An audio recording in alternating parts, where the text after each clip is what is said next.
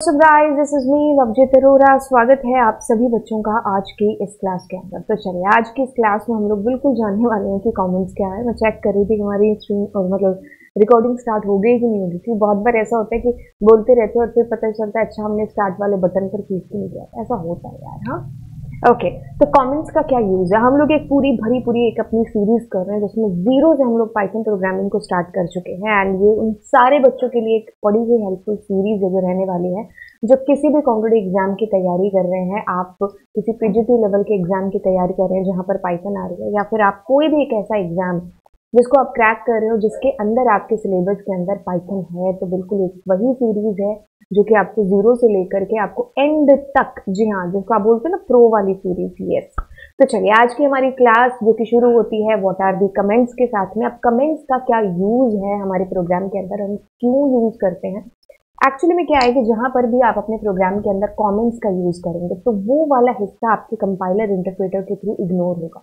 अब आप सोचोगे कि यार, अगर ये इग्नोर होगा तो फिर इसका यूज़ क्यों करना? आपने भरा पूरा एक प्रोग्राम है जो लिखा है जहाँ जहाँ आपने कमेंटिंग कर रखी है वो वो हिस्सा आपका नहीं चलेगा। आप चाहे कुछ भी लिख दो कमेंट्स के अंदर। तो फिर इनका यूज़ क्या है? एक्चुअली में इनका यूज़ क्या है कि जहाँ पर भी हम मान लीजिए मैंने एक, एक प्रोग्राम है जो बनाया उसमें मैंने कुछ वेरिएबल्स ले लिए या फिर ए, मैंने कुछ वेरिएबल्स लिए हैं तो मैं अब क्या कर रही हूँ? कॉमेंट्स के थ्रू एक्सप्लेन कर रही हूँ कि इस वेरिएबल का क्या पर्पज़ है। या ये जो मैंने प्रिंट फ़ंक्शन लगाया ये क्या चीज़ प्रिंट करा या ये जो पूरा प्रोग्राम है इसका क्या पर्पज़ है? क्यों मैंने बनाया है? ठीक है? तो कमेंट्स के थ्रू एक तरीके से मैं चीज़ को एक्सप्लेन कर रही हूँ। क्यों कर रही हूँ? हो सकता है मैं खुद के लिए एक्सप्लेन कर रही हूँ क्योंकि मैंने एक पीस ऑफ़ कोड है जो लिखा।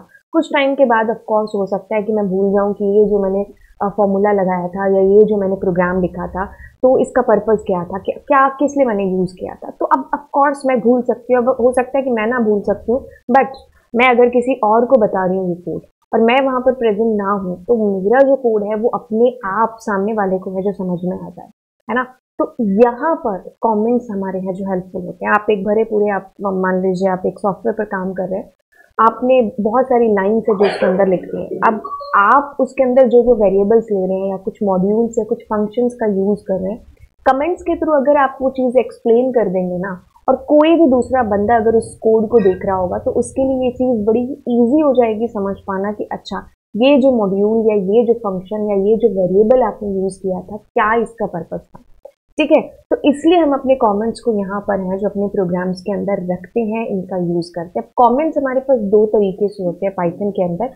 हैश के थ्रू हम सिंगल लाइन कमेंट्स करते हैं और जब ट्रिपल लाइंस का यूज़ होता है तो हम लोग एक से ज़्यादा लाइंस कमेंट के अंदर लिखते हैं। तो अगर हम इसके पूरी डेफिनेशन को पढ़ते हैं तो कहते हैं कि comments is a text that doesn't affect the outcome of a code इसका आउटपुट के ऊपर कोई भी फ़र्क है जो नहीं पड़ता है। It's just a piece of text to let someone know what you have done in the program or what is being done in the block code. आपने उस पूरे प्रोग्राम के अंदर क्या किया है? कौन सा वेरिएबल किस लिए यूज़ हो रहा है? आप जस्ट खाली उसको एक्सप्लेन करके बता रहे हो with the help of those comments चाहे आप सिंगल लाइन कमेंट्स का यूज़ कर रहे हो, चाहे आप मल्टीपल लाइंस का यूज़ कर रहे हो। अब इसमें एक और एग्ज़ाम्पल ये भी समझ सकते हैं कि मान लीजिए आपका प्रैक्टिकल हो रहा है, आपके साथ में बहुत सारे और भी बच्चे प्रैक्टिकल दे रहे हैं। तो आप कमेंट के थ्रू उस प्रोग्राम को एक्सप्लेन करके आ सकते हो, आप वहाँ पर कमेंट के थ्रू बता सकते हो कि ये प्रोग्राम मेरे, मैंने बनाया है क्लास का नाम and the purpose of that particular program या फिर प्रोजेक्ट का भी, है ना? तो अब आपके टीचर को समझ में आ जाएगा कि अच्छा इस बच्चे ने प्रोग्राम बनाया, इस क्लास का इस प्रोग्राम का या इस प्रोजेक्ट का पर्पज ये है। राइट तो यानी कि आप डॉक्यूमेंटेशन भी है जो कर सकते हैं, क्योंकि वो रन नहीं होगा कोड जस्ट खाली वो आपको एक्सप्लेन करके बता रहा है कि भाई इस प्रोग्राम के अंदर इस वेरिएबल का ये पर्पज है या इस फ़ंक्शन का ये पर्पज है, या फिर ये किसने है जो प्रोग्राम जो बनाया। है ठीक है? तो हम अपनी ही सहूलियत के लिए इन कमेंट्स का यूज़ करते हैं ताकि वो चीज़ मेरे को बाद में याद आए। या फिर किसी और को अगर मुझे वो चीज़ एक्सप्लेन करनी हो। So that is just for our understanding only it's good if we if if we are giving it in our program and it will not run. आपका ये जो भी कमेंट आप लिख रहे हो ये आपके प्रोग्राम के अंदर जो है रन नहीं होगा। आप खाली जस्ट इसको एक्सप्लेन कर रहे हो खुद के लिए भी एंड दूसरों के लिए भी। ठीक है?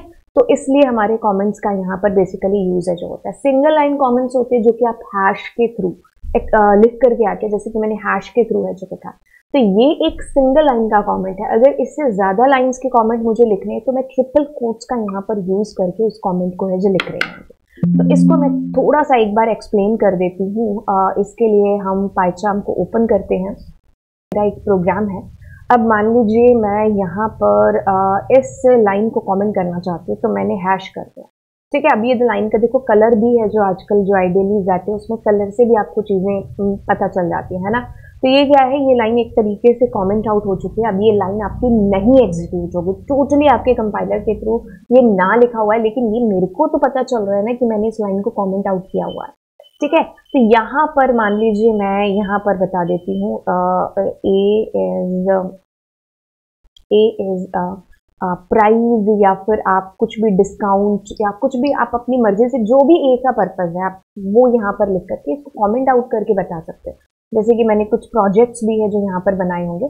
जैसे ये देखिए ये मैंने यहाँ पर बोला है कि ये डेटा विजुअलाइजेशन है। ठीक है तो कमेंट कर करके देखो, हर एक चीज़ का पर्पज यहाँ पर बता रखा है। तो अगर मेरे, मैं तो इसको मैंने खुद में लिखा है, लेकिन कोई दूसरा बंदा आकर के इस प्रोजेक्ट को देखेगा तो उसके लिए ये चीज़ बड़ी आसान हो जाएगी, क्योंकि उसको पता चल जाएगा कि अच्छा calculate the total cost based on the new dish तो अच्छा ये चीज़ यहाँ पर हो रही है। ठीक है? और उसके लिए ये भी देखो यहाँ पर मैंने हर चीज़ को उसको कमेंट आउट कर रखा है। तो जब भी, भी आप भी प्रोजेक्ट बनाएँ या किसी बड़े सॉफ्टवेयर पर आप काम करते हैं तो उसको कमेंट जब आप करके आते हैं तो ये चीज़ें आपके लिए आसान हो जाते हैं।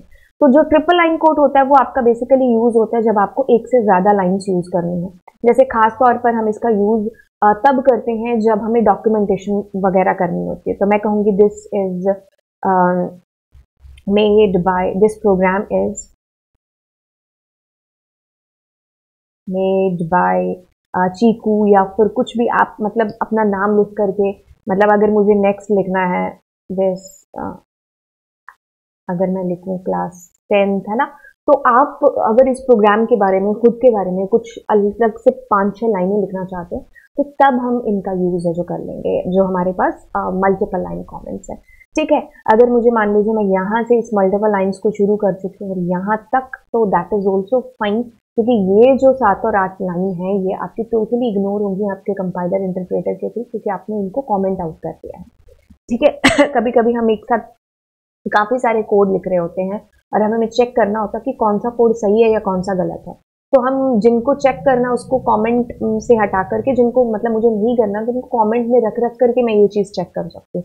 क्योंकि काफ़ी हेल्प है जो होती है कमेंट्स के थ्रू एंड ये एक अच्छी बात है कि अगर अगर आप अपने प्रोग्राम को एक अच्छे कमेंट के थ्रू जो है लिख करके आते क्योंकि ये चीज़ सामने वाले को भी समझ में आती है और आपको भी ये जो समझ में आती है, क्योंकि कुछ टाइम के बाद में हम खुद ही भूल जाते हैं कि भाई ये जो मैंने लॉजिक लगाया था, इसका क्या पर्पस था, जैसे कि इस प्रोग्राम के अंदर है है ना? तो अगर आप कमेंट आउट करके आ जाएँगे तो ये तुम्हारे लिए भी अच्छा होगा कि भाई समझ में आ जाएँगी चीज़ें, अगर आप कुछ टाइम के बाद भी उस कोड को देख रहे हो, और ये सामने वाले के लिए तो ईजी होगा ही होगा उसको समझ पाना। ठीक है, अब मान लीजिए ये प्रोग्राम मैंने बनाया बट इसकी जगह पर अगर कोई दूसरा बंदा आकर के देखता है तो उसको ये ईजी हो जाएगा, है ना? तो इसलिए हम अपने कमेंट्स का यूज़ करते हैं एंड बस इतनी सी बात है तो चलिए फिर अब आपको मिलते हैं नेक्स्ट क्लास के अंदर। Thank you so much next class में मैं आपको उस basic structure of Python program है, जिसको बताने वाली हूँ। तो चलिए फिर मिलते हैं नेक्स्ट क्लास में and yes don't forget to subscribe the channel yes आप चैनल सब्सक्राइब कर रहे होंगे तो मिलेंगे आपसे अगले क्लास में। Bye bye